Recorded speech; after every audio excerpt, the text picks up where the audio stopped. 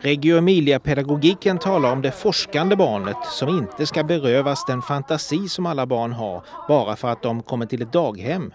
Det är möjligheterna och inte begränsningarna som är centralt i den här pedagogiken. Det handlar mycket om att plocka fram deras olika språk som de har och uttrycksmedel.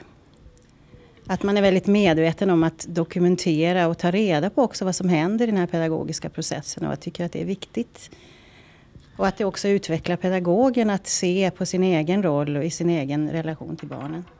Många föräldrar vill ju att deras barn ska följa med den tekniska utvecklingen och lära sig behärska IT-teknik på barns villkor. Är det något som är möjligt i den här pedagogiken också? Man tycker sånt är viktigt att liksom hela tiden utvecklas och det är också så att pedagogerna lär sig mycket av barnen och barnen är väldigt sugna på olika nya saker också.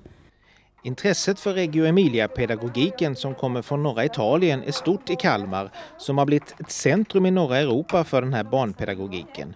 Under hela 90-talet så har en rad studiecirklar och kurser genomförts så att idag finns det ett stort nätverk med kompetens både bland pedagoger och föräldrar vars medverkan är viktig. Och det finns också i Kalmar flera förskolor som arbetar med inspiration från Reggio Emilia-pedagogiken. Vi försöker skapa en mötesplats. En mötesplats för människor i olika åldrar, 0 till 100 år brukar vi säga.